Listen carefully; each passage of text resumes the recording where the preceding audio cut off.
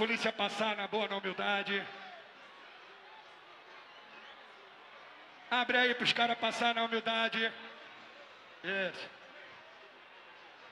Uma salva de palmas, a polícia militar tá trabalhando certo, é isso aí.